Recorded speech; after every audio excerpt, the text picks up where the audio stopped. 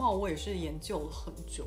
就是因为我应该说头型跟脸型都是有需要修饰的地方，所以呢，我很容易就是戴错毛帽或是没戴好，就会看起来很像谜一样的物品。到底多迷呢？我今天就不讲出来，因为我怕被黄标。反正就很迷，就对。因为我一定要戴这种有高度的，但是它又不能过高，像这顶就还蛮刚好的。因为有一点点高度的话呢，因为我颅顶很低嘛，所以它就可以帮我增加颅顶的高度。那如果它是这么贴的话，就是我就现在嗯，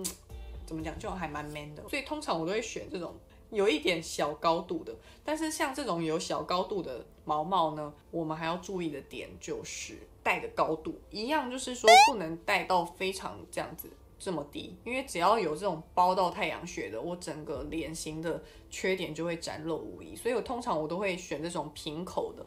我的太阳穴是整个露出来，然后这样子就可以修饰掉我太阳穴跟颧骨的问题。然后另外我也可以用发丝来修饰嘛，因为我这边有头发，就是让它卷卷的，然后这边就会是好看的，就至少会有发丝修饰我的脸型这样子。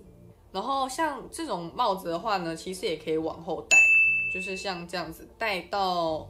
露出一点点发际线。就如果你额头没有很高，你就可以露出一点点发际线，但是呢。通常这边还是要垫高，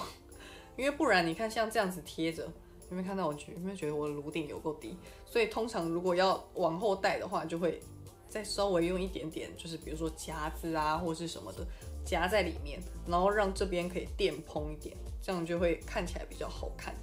然后像你们就是如果是长头发在戴那个毛帽的话呢，我百分之一千万的建议你们一定要把头发往前放，因为当你的这个上半部呢，它的分量感加重之后，你下半部没有东西，像我这样子，我我整个收起来，下半部没有东西，就会显得很容易脸大，整个脸型展露无遗，会有一点偏大。那如果你很 care 这件事情，就是把下面这个头发全部拉往前，然后你觉得这边分量感，然后这边也有分量感，觉得整个看起来比例是比较协调的。好，那这个是比较薄的毛帽，那也有更多人买的是这种厚的针织帽。然后我现在发现厚的针织帽也是有雷点之处，很多女生戴厚的针织帽都会看起来很可爱、很日系。但我发现我戴真的很丑，原因不是因为长相的问题，哎，不对，原因就是因为长相的问题。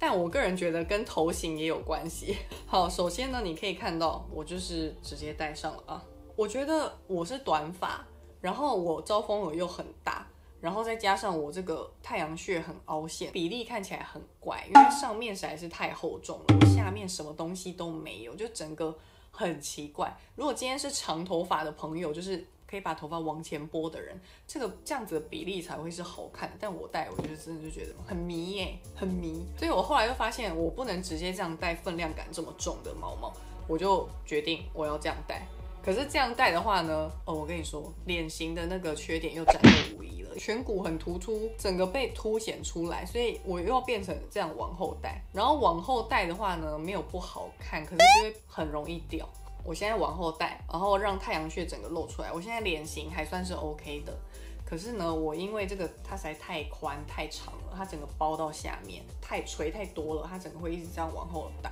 往后往后往后，所以我会没有办法固定住我的帽子，就会变成我我想到一个办法，你可以这样子把这个帽子。用你的手这样往内折，然后通常这种帽子它都会有一个支撑性，而且有摩擦度，所以你这样往内折的时候会会被夹住。然后你再稍微整理一下上面，它还是会有一定的垂感，但是你下面就可以收的比较刚好。然后这个呃侧面的轮廓呢，这个垂下来的这一条它就不会太宽，然后就不会导致戴的时候会有这种固定不住的问题。所以你看我这样甩。都还好，都不太会掉。一样，太阳穴的这个位置把头发拉出来。那我夹卷是比较喜欢夹这种泡面卷，我觉得如果是这种螺旋卷的话，会有一点不太自然。好，所以我弄完大概是这样子，就是让头发从颧弓最突出的这个位置长出来。然后是不是我现在脸旁边这边就会有一些分量感，就会跟我这个头上方的这个毛线看起来就会比较平衡一点。然后整个脸型啊、轮廓的什么的都会比较好看。然后通常我会再戴更低一点点，盖额头盖到这个高度，对我来说是对我脸型修饰效果最好的。所以我通常会戴这么低。那当然，你头发比较多、比较长的人，你最好就是可以这样子 整个盖住，整个盖住。所以我觉得戴毛毛跟戴发带，其实重点就是在于你的毛毛跟下半部这个头发的部分，它的分量感要做一个平衡。只要有达到平衡的话，都会是好看的状态。然后另外，如果你想要修饰脸型啊、外部轮廓啊，我们就可以利用发丝，然后去塑造一些波浪的线条，去破坏你脸上的一些比较强硬的那种线条感。